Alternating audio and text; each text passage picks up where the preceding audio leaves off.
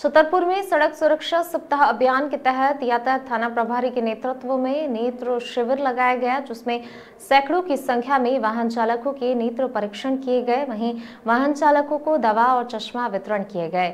सड़क सुरक्षा सप्ताह अभियान 22 से 28 अगस्त तक चलाया जा रहा है। शिविर में यातायात सूबेदार दलवीर मार्को सहित पुलिसकर्मी और वाहन चालक रहे मौजूद। छतरपुर से मुकेश भार्गव की रिपोर्ट।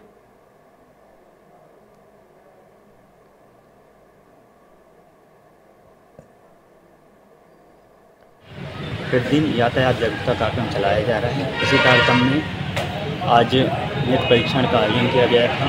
साथ ही स्कूल, कॉलेज में भी प्रशिक्षण का आयोजन किया जा रहा है। बच्चों को जागरूक किया जा रहा है। सभी से अपील की जा रही है यातायात नियमों का पालन करें। दो पहिया वाहन चलाते समय हेलमेट का प्रयोग करें। दो पहिया वाहन में तीन सवारी में बैठाएँ।